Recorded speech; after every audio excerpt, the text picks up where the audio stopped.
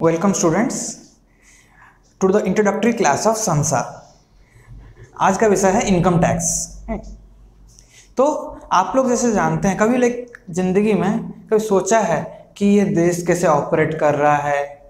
ये जो गवर्नमेंट बनी हुई है, ये कैसे देश को चला रही है? इतने पैसे आते कहाँ से हैं? कोई है क्या? लाइक मनी प्लांट लगा हुआ है, पैसे का पेड़ लगा हुआ है जहाँ से पैसे ला रहे हैं और काम करते जा रहे हैं। कोई तो वहाँ बैठ के बोल रहा है, नहीं आरबीआई है ना? पैसे छाप रही है? नहीं, ऐसा नहीं होता। अगर आरबीआई है, पैसे छाप रही है तो मनमानी हर कोई अपने हिसाब से पैसे छाप देता और उस हिसाब से गवर्नमेंट चलाने लग जाते ऐसा नहीं होता है। मैं आपको हिस्ट्री में लेके जाता हूँ। तब की बात है, जब किंगडम्स हुआ करते थे, राजा है ना, अपने देश का जिम्मा उठाते थे। क्योंकि राजा जो है, वो देश के सारे खर्चे उठाते थे। देश का कहाँ पे इंफ्रास्ट्रक्चर डेवलपमेंट होगा, कहीं पे आर्मी को रखना है, उनका क्या खर्चा उठाना है। तभी के टाइम से ही, ये जो राजा लोग होते थे टैक्स कलेक्ट करते थे। फ्रॉम द स्टेट में जितने भी हैं लोग स्टेटहुड में, उनके स्टेटहुड में, उनके राज में जितने भी लोग हैं, कोई किसानी कर रहा है, कोई और कुछ काम कर रहा है, सबसे कुछ ना कुछ थोड़ा बहुत अपने हिसाब से रूल बना लेते थे और पैसा कलेक्ट करने लग जाते थे। और उस बेसिस पे उसी से ही गवर्नमेंट का खर्चा उठता था। धीरे धीरे धीरे धीरे करके अभी हम अभी के टाइम पे पहुँच गए हैं। पोस्ट इंडिपेंडेंस फ़ेज़ में, उससे पहले हम ब्रिटिश गवर्नमेंट्स को टैक्स देते थे, अभी हमारे गवर्नमेंट्स को टैक्स दे रहे हैं। मगर किसी ने ना बहुत सही बोला है। In the world of uncertainties there are only two certain things one is death another is tax tax को कभी आप अवॉइड कर ही नहीं सकते। ज़्यादा से ज़्यादा क्या कर सकते हैं? टैक्स को समझ सकते हैं टैक्स से प्यार कर सकते हैं टैक्स की प्लानिंग कर सकते हैं। तो चलिए, हम बात करते हैं टैक्स के बारे में। जनरली ये जो टैक्स है ये दो कैटेगरी में डिवाइड किया जाता है। On broader sense tax is divided into two parts. One is direct tax, one is indirect tax.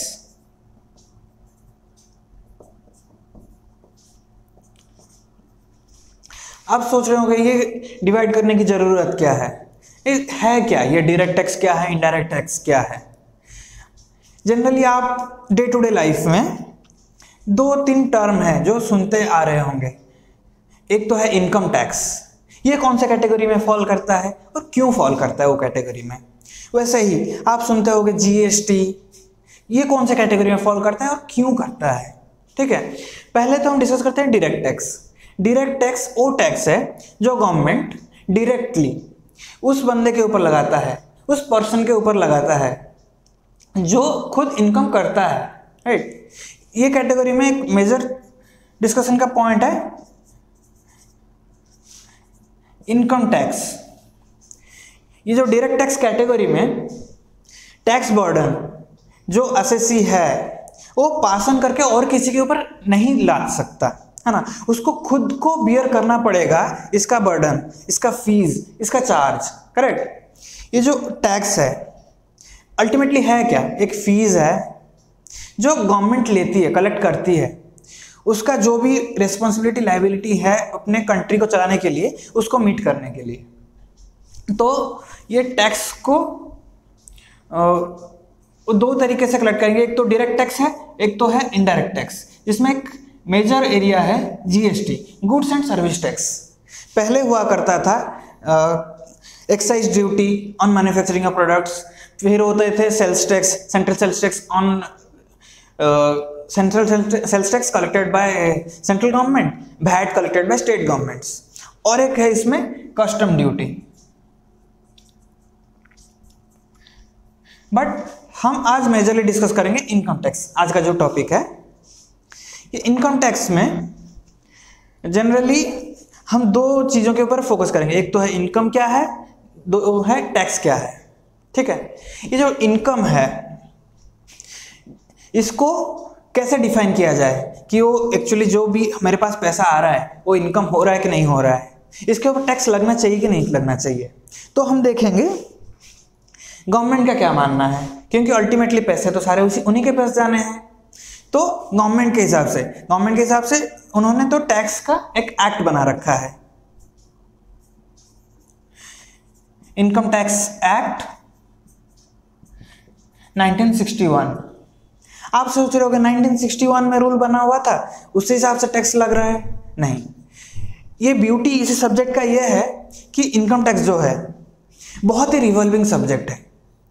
शायद एक बार जो अकाउंटिंग बन गया, जैसा फॉलो हो रहा था नेक्स्ट कब चेंज होगा पता नहीं, मगर इनकम टैक्स जो चीज़ है, हर दिन बदलते रहता है। हर दिन इसमें अमेंडमेंट्स आते रहते हैं, हर दिन कुछ ना कुछ नया चेंजेस आते रहता है। हर साल फिनेंस एक्ट ला के उस साल को, उस प्रीवियस ईयर को कैसे टैक्स करना है गवर्नमेंट बताती है। वैसे ही सीबीडीटी के ज़रिए हर बार कुछ ना कुछ अमेंडमेंट्स आते रहता है। कुछ कोर्ट्स में केसेस चले गए, उसमें कुछ जुडिशियरी आ गया, कुछ केस स्टडी का केस का कुछ वर्डिक्ट आ गया। तो उस केस स्टडी के बेसिस पे कैसे इनकम टैक्स को लागू किया जाएगा, वो चेंजेस होते रहते हैं। और ये सब्जेक्ट का यही ब्यूटी है कि चेंज होते रहता है। आप ये सब्जेक्ट में अगर अच्छा होल्ड कर लेते हैं, ये आगे जाके बहुत काम आने वाला है, क्योंकि ये एक सब्जेक्ट है, ऐसे ही कोई बैठ के समझ नहीं सकता। अगर आप ये एरिया के एक्सपर्ट हो, ये फ़ील्ड के एक्सपर्ट हो, तभी आपको समझ आएँगे। ऐसा नहीं कि कोई भी ऐसे गूगल करके ही समझ गया कि अच्छा अच्छा ये तो ऐसे होता है, वैसे होता है। हम इन डेप्थ ये सब्जेक्ट के बारे में पढ़ेंगे एनालिसिस करके देखते हैं कि है क्या। ये इनकम क्या है टैक्स क्या है। टैक्स के बारे में हमने डिस्कस कर लिया। टैक्स एक फ़ी है, एक चार्ज है जो गवर्नमेंट चार्ज करती है। इनकम क्या है? इनकम क्या है जानने के लिए?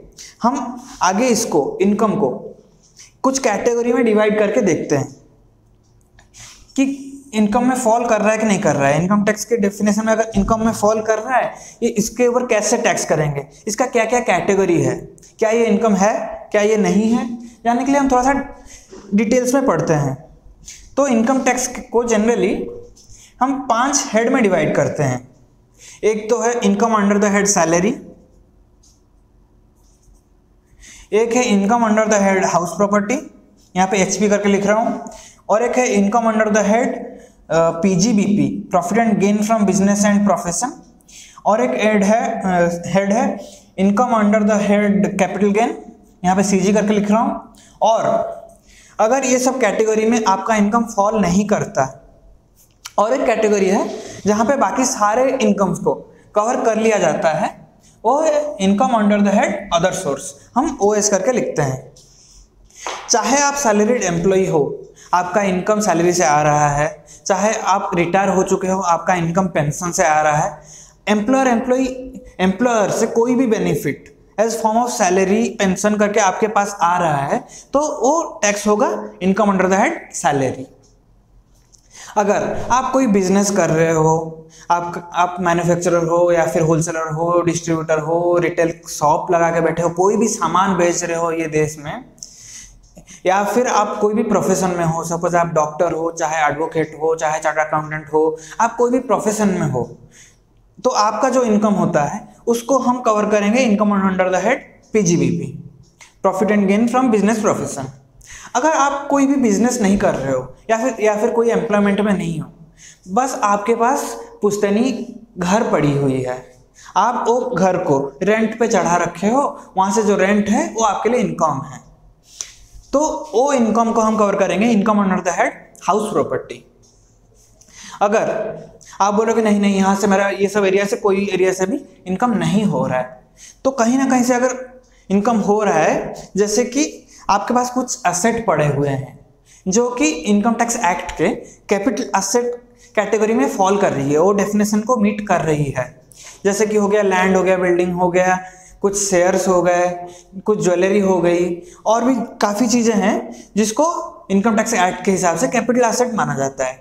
अगर वो कैपिटल असेट को आप ड्यूरिंग द प्रीवियस ईयर बेच रहे हो, और वहाँ से आपकी कोई इनकम हो रही है जनरेट तो उसको हम ये कैटेगरी में टैक्स लगाएँगे। Income tax sorry income under the head capital gain ये हेड में आपको उसके ऊपर टैक्स देना पड़ेगा। उसके, उसको आगे जाके कैटेगराइज करना पड़ेगा। लॉन्ग टर्म कैपिटल गेन है या शॉर्ट टर्म कैपिटल गेन है। वो जब हम डिटेल्ड चैप्टर कवर करेंगे, उसमें कवर करके पढ़ेंगे कि अच्छा इसके ऊपर ऐसे टैक्स लगाया जाता है।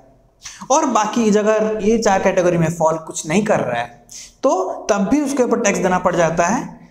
Income under the head other source चाहे आपकी कोई लॉटरी खुल गई, वहाँ से इनकम हो गया, चाहे कोई ऐसे ही आप एक बार कुछ कंसल्टेंसी के बेसिस पे कुछ तो ऑन कर गए जो कि आपका रेगुलर इनकम सोर्स नहीं है।